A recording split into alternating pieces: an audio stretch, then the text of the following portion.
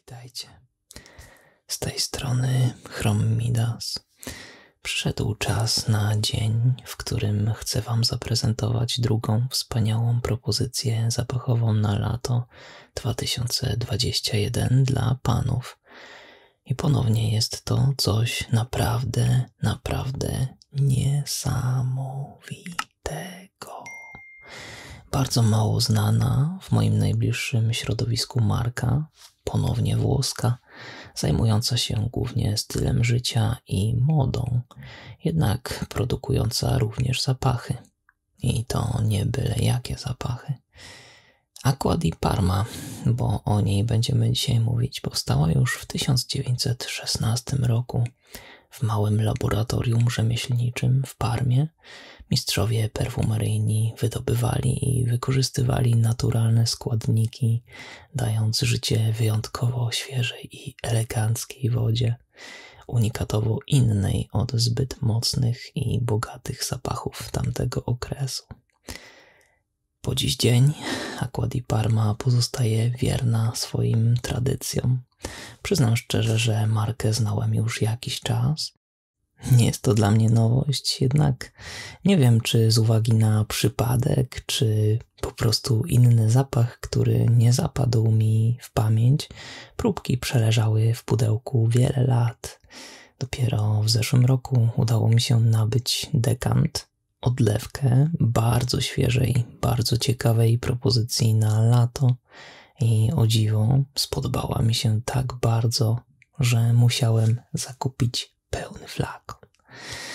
Kochani, przedstawiam Wam oficjalnie Aqua di Parma Blue Mediterrano Fico di Amalfi.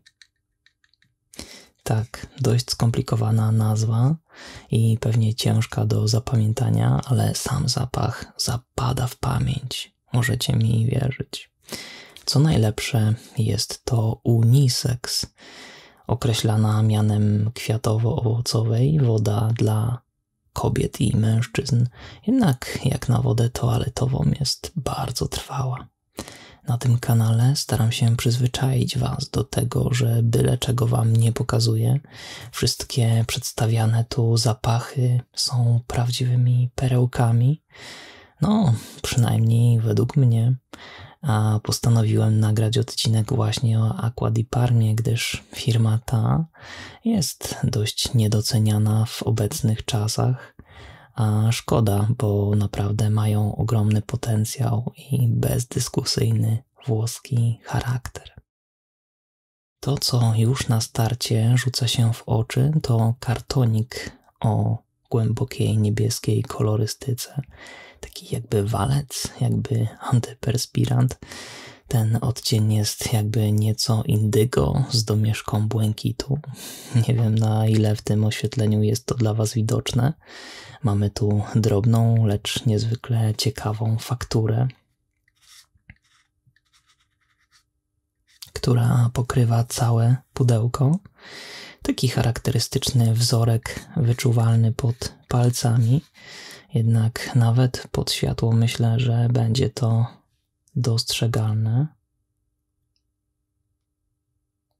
Hmm. Z przodu mała biała tabliczka z nazwą. Taki ukłon w stronę klasyki, no bo jakby nie patrzeć, to firma ma już ponad 100 lat. To na pewno zobowiązuje. Tutaj logo. Hmm.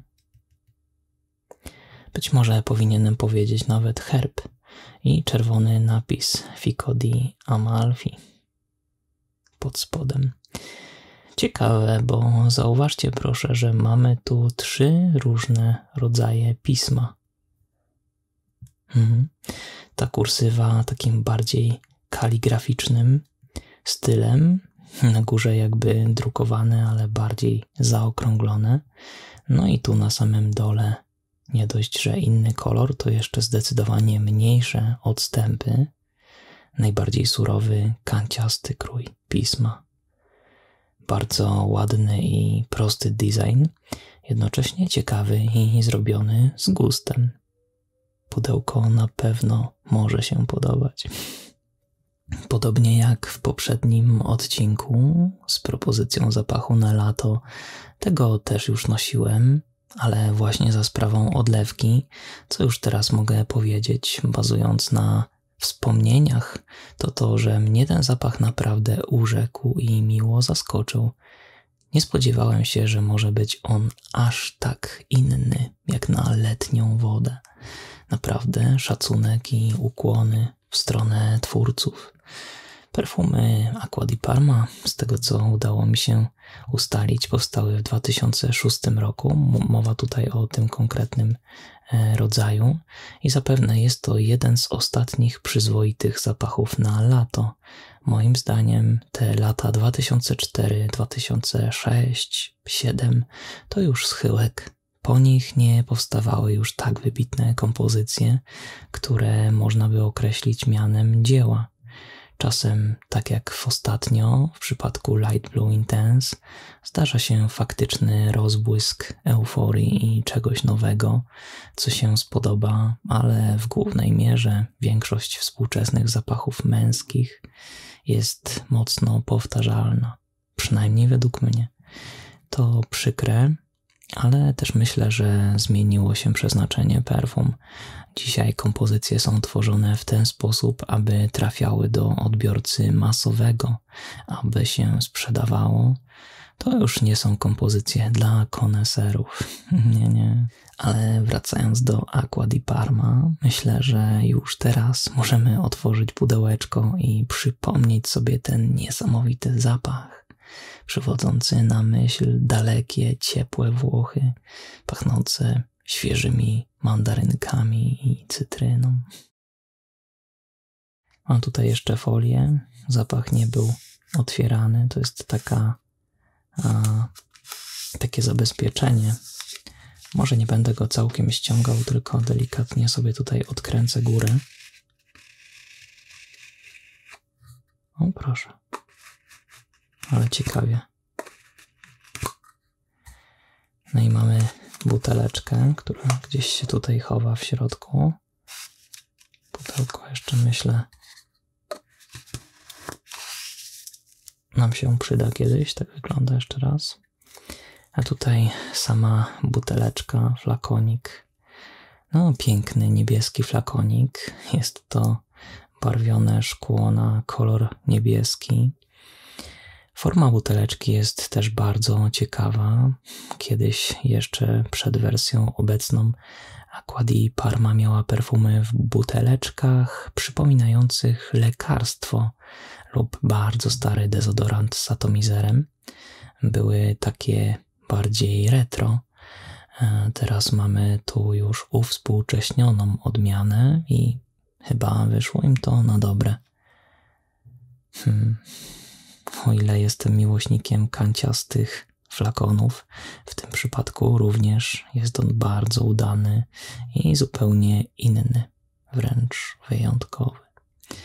Zwróćcie proszę uwagę na tą nienaganną formę. Na dole węższa, rozszerza się ku górze i niebieski, równie fascynujący korek, zwieńczający to dzieło niczym kropka nad i. Oczywiście jest to 30 ml, dlatego flakon jest taki bardziej smukły. W większych pojemnościach jest on szerszy, jednak formuła się nie zmienia. Nadal podstawa jest węższa, rozszerzając się delikatnie po górze, ku niebu.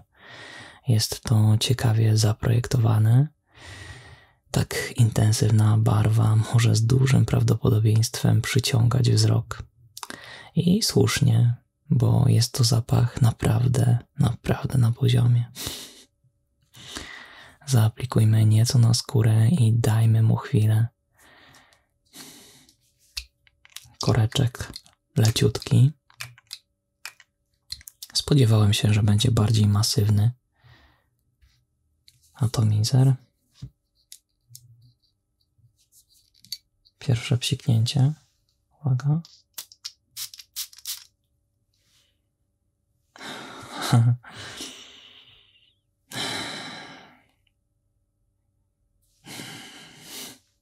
W porządku. Żadnej oszczędności tutaj nie było. Z odległości kilkunastu centymetrów zapach jest wyczuwalny. Hmm, tak, i to jest też według mnie fenomen tych konkretnych perfum, gdyż wydawać by się mogło, że jest to zapach bardzo, bardzo delikatny. A tu takie zaskoczenie, tak duża moc i projekcja. Hmm. Minęła chwila jeszcze. Powoli nabiera mocy, więc możemy już przybliżyć nos do nadgarstka. Hmm. Wow.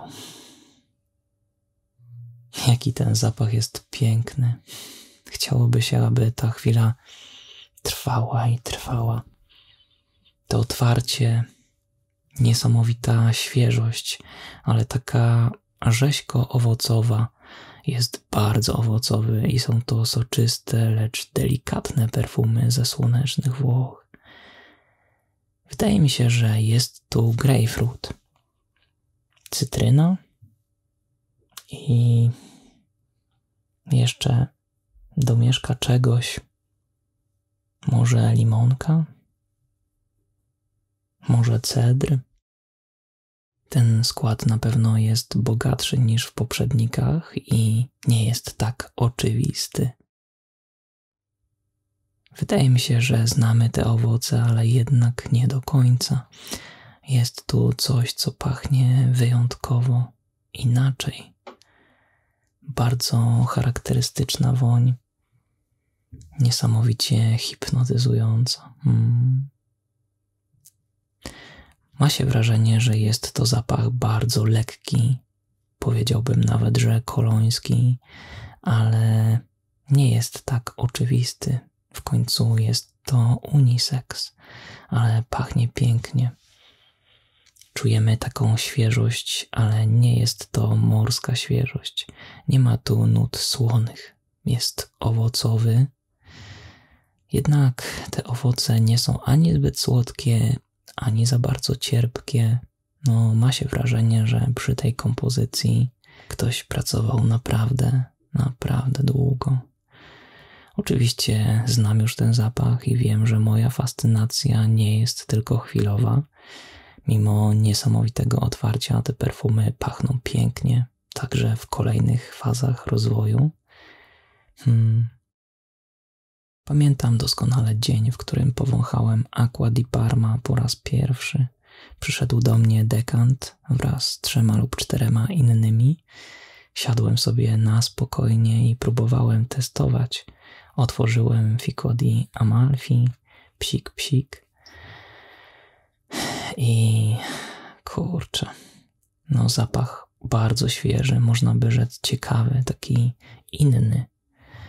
Hmm, to było słowo klucz, ale wydał mi się bardzo delikatny. Sądziłem, że jest tak wodny, że po godzinie już niewiele będzie czuć. Jakże bardzo się pomyliłem. Po pierwszych paru wdechach, zapominając o nim, zająłem się innymi sprawami. Aqua di Parma leżakowała sobie na moim nadgarstku i mijały kolejne godziny, a ten zapach nadal pachniał. Późnym popołudniem położyłem się i nieświadomie przytknąłem rękę do twarzy i nagle, wow, takie uderzenie świeżości. Testowałem tego dnia dwa inne zapachy i przez chwilę zastanawiałem się, który z nich tak pięknie się rozwinął. Jednak niepewność nie była zbyt długa. Skoczyłem na równe nogi i podbiegłem do miniaturowej buteleczki znajdującej się na moim biurku. Piknąłem na korek, przystawiłem do nosa. Tak, to było to. Nie dość, że było to zaskoczenie dnia, to mógłbym z pewnością powiedzieć, że to nawet zaskoczenie tygodni lub miesięcy. Nigdy bym się nie spodziewał, że ten zapach będzie tak nieprawdopodobnie cudowny. Wciąż nie mogę wyjść z podziwu. Dla mnie to niepojęte, że tak świeży zapach potrafi trwać tyle godzin. To zupełnie zmieniło moje postrzeganie dotyczące świeżych perfum. Spokojnie możemy liczyć na co najmniej 6 godzin, może nawet więcej. Wszystko zależy tu od pH skóry oraz od obfitości rozpylenia. Ja zazwyczaj z tym nie przesadzam. Myślę, że około dwóch psiknięć na każdą stronę szyi jest dla mnie wystarczające. Dyskrecja też jest w cenie. Hmm. Ficodi Amalfi jest bezkonkurencyjny, nieszablonowy, lekki i zaskakujący. Jak na świeży zapach jest cytrusowy, ale nie kwaśny, nie zbyt słodki. Idealnie obrazuje wakacje nad Morzem Śródziemnym, nie będąc przy tym słonym. Cytrusy zawarte w jego składzie pachną bardzo naturalnie, wręcz organicznie. Hmm. Zapach delikatnie się zmienia, ewoluuje. Teraz wyczuwalne są zielone nuty, być może jakieś kwiaty, ale również zostające w tym świeżym, pobudzającym do działania klimacie. Cały czas mam wrażenie, że w otwarciu jest coś jeszcze, coś, co nie jest mandarynką ani cytryną, ale nie potrafię tego nazwać. To jest mm, nieco inny zapach. Podejrzewam jakiś owoc, ale nie mam aż takiej wiedzy na temat egzotycznych kompozycji, dlatego może jeszcze raz spróbuję psiknąć nieco na drugi nadgarstek i zobaczymy.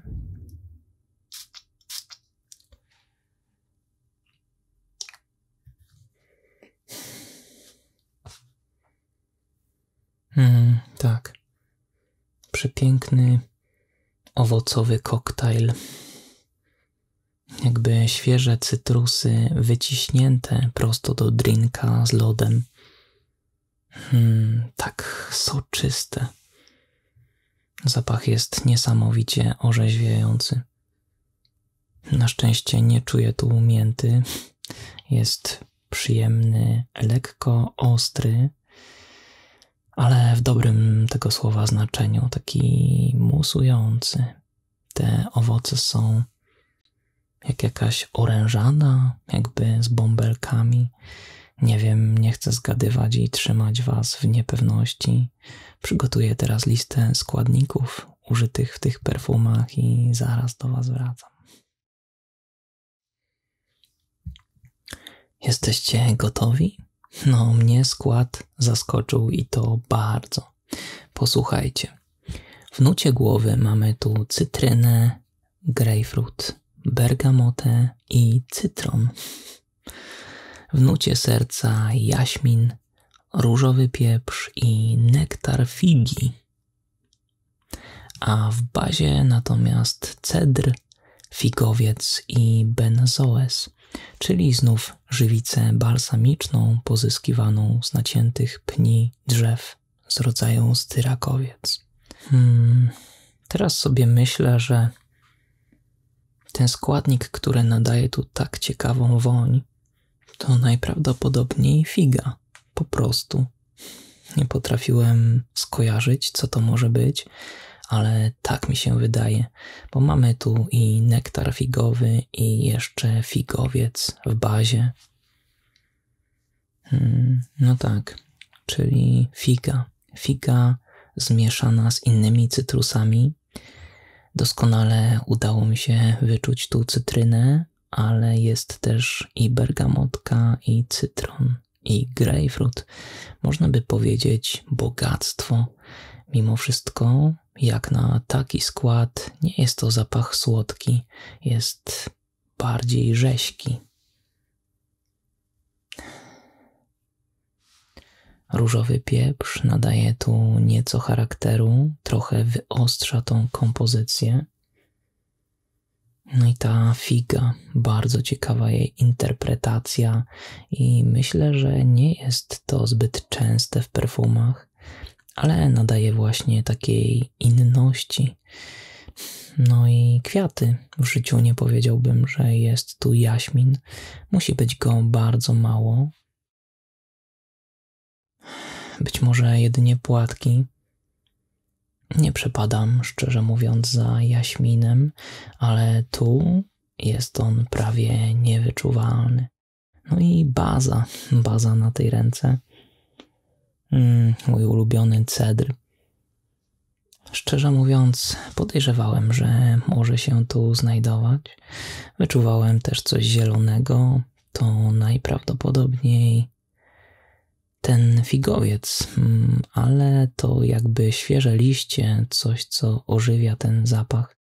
Hmm, być może ta żywica styrax w tym połączeniu też doskonale spaja Ficodi Amalfi w ciekawą całość.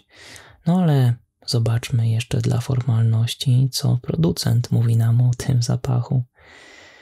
Amalfi. Miejsce naturalnego piękna, pełne malutkich, malowniczych wiosek porozrzucanych na skalistych wzgórzach z zapierającymi dech klifami wpadającymi wprost do Morza Śródziemnego.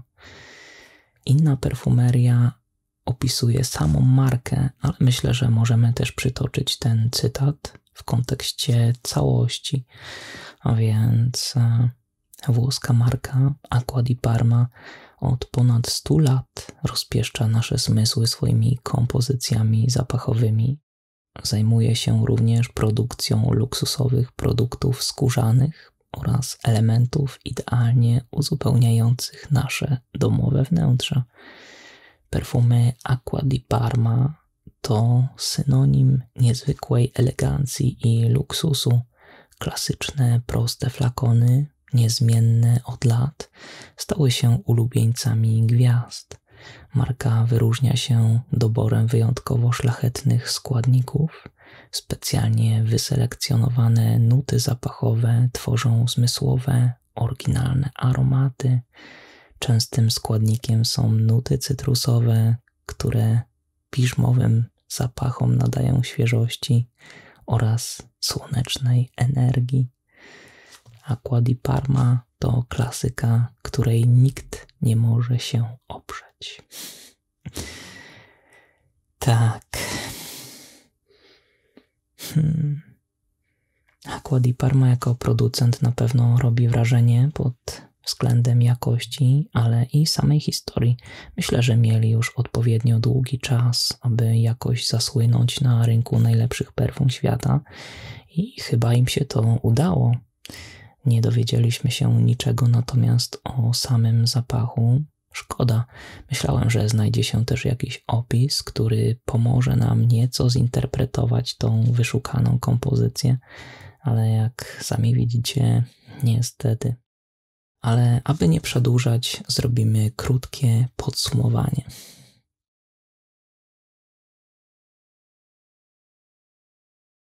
Aqua di Parma, Blue Mediterrano, Fico di Amalfi. Propozycja uniseksowa, która leci nieco w stronę damską niż męską. Orzeźwiające, soczyste cytrusy, genialnie podana figa robi wrażenie. Zapach no naprawdę przepiękny, mający ogromne ilości włoskiej fantazji, oryginalny, iskrzący, musujący, i przy tym tak niesamowicie naturalny. No, nikt tutaj na niczym nie oszczędzał. Marka z tak wieloletnią tradycją, która no, musiała się jakoś przebić, wciąż utrzymuje się na powierzchni i jej obroty nadal są przyzwoite.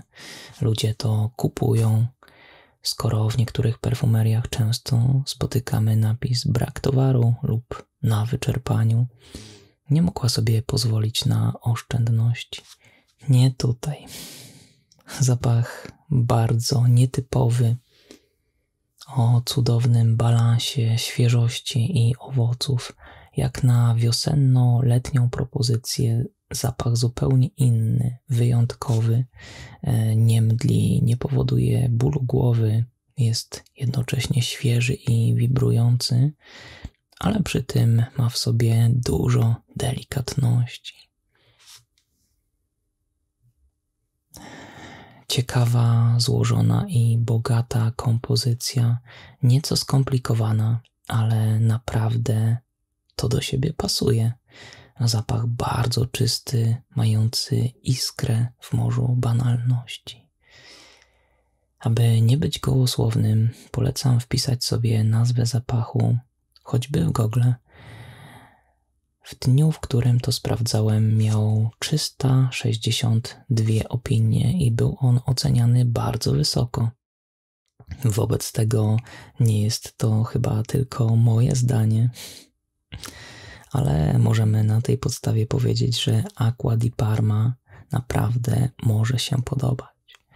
Spotkałem się też niestety z opiniami, że bywa on nietrwały, ale ja go wyczułam. Przynajmniej na mnie pachnie naprawdę długo. Być może mam dobre pH, jeśli chodzi o tak świeże zapachy. Zawsze możecie wcześniej zamówić próbkę lub dekant i przetestować sami, zanim kupicie pełny flakon.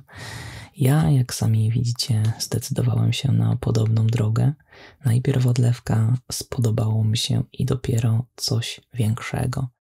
No dobrze, a teraz na sam koniec chciałbym zrobić małe podsumowanie i porównać go do innych świeżych zapachów, które testowałem już na moim kanale, a mianowicie Versace Pure Homme oraz Dolce Gabbana Light Blue Intense. Powiem co myślę, a później postaram się odpowiedzieć na pytanie, który z tych zapachów wydaje się najciekawszy dla mnie, ponieważ mam już swoje przemyślenia. Jak ja to widzę? Wszystkie zapachy są cudowne i nadają się na ciepłe dni, wiosnę i lato. Są bardzo energiczne i rześkie. Wydaje mi się, że pasują głównie do młodych, zadbanych mężczyzn. I tak naprawdę myślę, że nie będziecie żałowali wydanych na nie pieniędzy, bo ich ceny są przyzwoite. Nie jest to też duży koszt i za kwotę, jaką musicie zapłacić, to warto. Naprawdę są to porządne kompozycje o długiej trwałości. Nie wiem szczerze mówiąc, czy znajdziecie coś lepszego na lato. No, te perfumy są już sprawdzone i nosi się je bardzo przyjemnie, więc mogę Wam polecić je z czystym sumieniem. Ale aby je porównać chociażby w kilku słowach, to zacznijmy od początku, czyli od Versace Pur o Medusa. Tutaj mamy taką włoską elegancję, zapach najostrzejszy z tych trzech, najbardziej wyrazisty, według mnie pasujący do młodego, bogatego gentlemana w sportowym super samochodzie, który potrafi też być bad boyem to zdecydowanie zapach z charakterem bardzo mocny i trwały, jak na świeżą propozycję, i przez to ciekawy, seksowny, być może właśnie ze względu na tę moc. Niektórzy uważają, że pachnie nieco jak świeże pranie. Jest to taki powiew mocnej, zdecydowanej świeżości, jest to też zapach bezkonkurencyjny, który jest na rynku już wiele, wiele lat i wciąż utrzymuje się bardzo wysoko w rankingach perfum męskich na lato. O czymś to świadczy. Przecudowny design butelki, bardzo elegancki, no perfumy z klasą. Mogą być używane na co dzień, ale bardziej jednak w tym włoskim klimacie one są naprawdę bardziej wyrafinowane niż kolejne propozycje. Nie wiem do końca, czy pasowałyby do jeansów i koszulki. Na pewno nie do dresu, bardziej do jakichś materiałowych spodni i lnianej białej koszuli. Do tego drogie przeciwsłoneczne okulary, dużo złota lub platyny na rękach, zegarek bransoleta, coś w ten deseń. Ten zapach świetnie pasowałby na przykład do aktora Cola Hauser, który wcielił się w rolę gangstera Cartera Veron w filmie Za szybcy, za wściekli. Tak to widzę. on mógłby zdecydowanie tym pachnieć. Oprócz tego meduza wydaje mi się najbardziej energetyczna w tym zestawieniu. Ona pobudza do działania. Mam wrażenie, że to zapach, który pasowałby też do ekstrawertyka, fotografa turysty, który chce zwiedzić wszystko jak najszybciej, jak najwięcej. Nadal jest to piękny i udany zapach, ale w moim odczuciu jest on przeznaczony bardziej do działania niż do odpoczynku. Następnie mamy Dolce Gabbana Light Blue Intense, czyli można powiedzieć nowość, patrząc na pozostałe. Ten z kolei określiłbym jako zapach świeżomorski.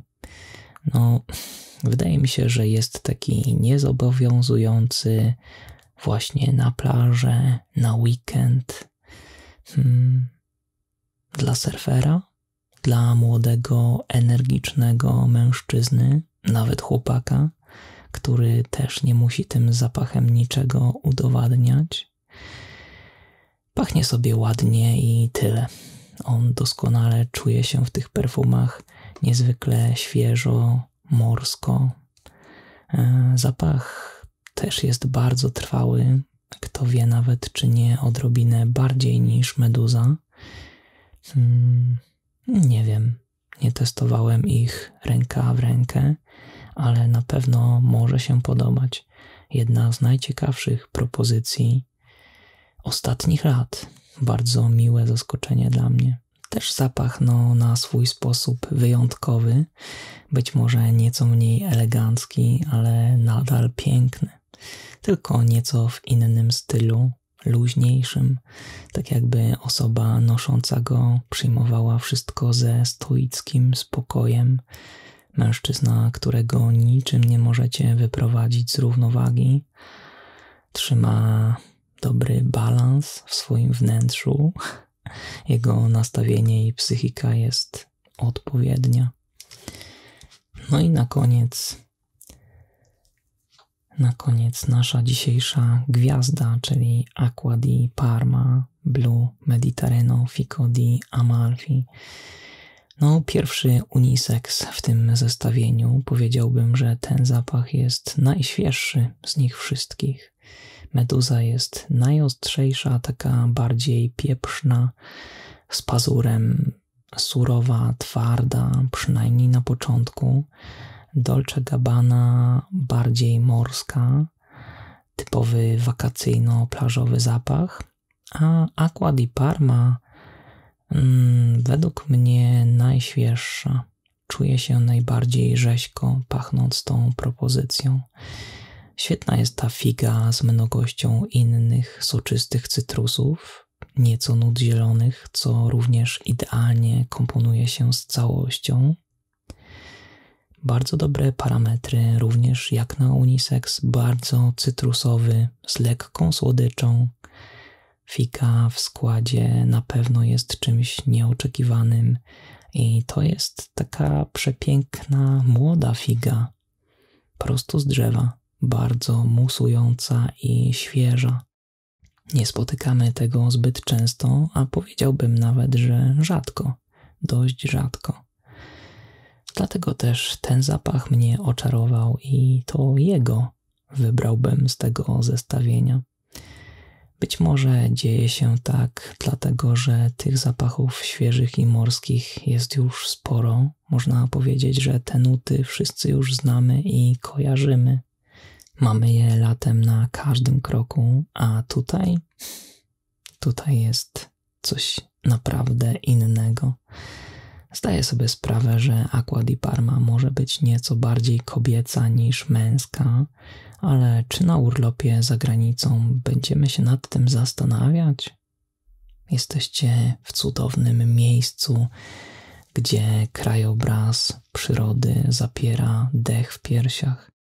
Macie na wyciągnięcie dłoni malownicze, malutkie wioski, zatopione w wielkich kamiennych zboczach i skalistych klifach, które otwierają się na lśniące, błękitne morze.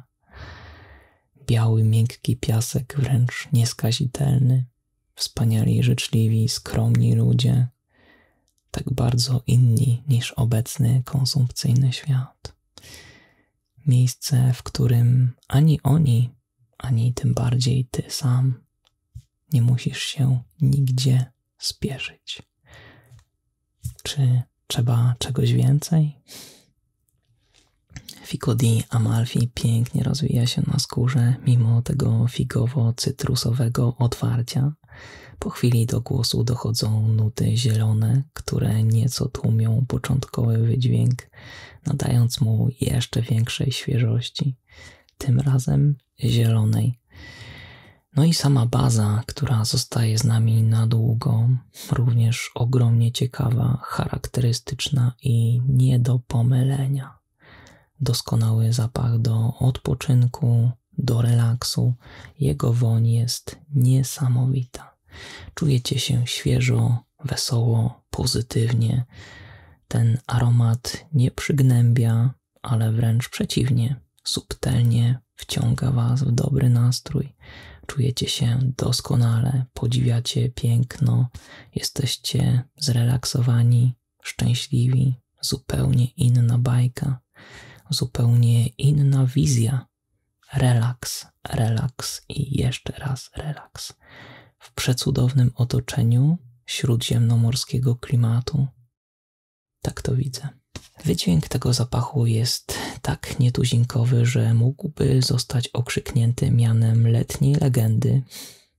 Doskonale do mnie pasuje, chociaż wybrałbym go raczej na cieplejsze dni, upalne. W chłodniejsze lepiej chyba sprawdziłaby się meduza.